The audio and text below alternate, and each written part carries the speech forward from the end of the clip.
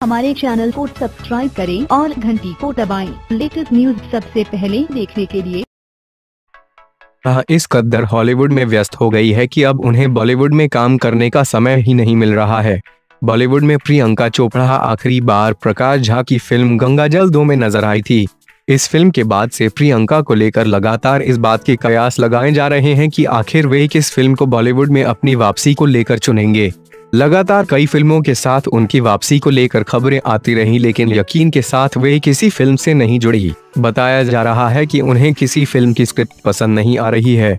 इसी बीच यह भी खबर आई कि वे अपनी वापसी अपने प्रोडक्शन के बैनर तले बनने वाली फ़िल्म से करेंगी और इसके लिए स्क्रिप्ट तलाश रही हैं। उनके अभिनय बनने वाली उनके बैनर की किसी फ़िल्म की शुरुआत तो अभी तक नहीं हो सकी।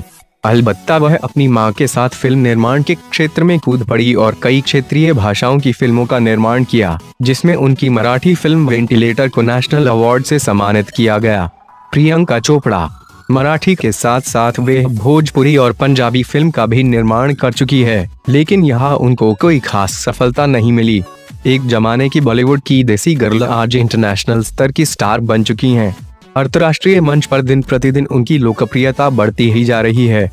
उनकी लोकप्रियता का अंदाज़ा इस बात से लगाया जा सकता है कि उनके इंस्टाग्राम पर उनके 20 मिलियन फॉलोअर्स हो चुके हैं। अपनी पर्सनल और प्रोफेशनल लाइफ से जुड़ी तमाम बातों को वे शेयर करती रहती है।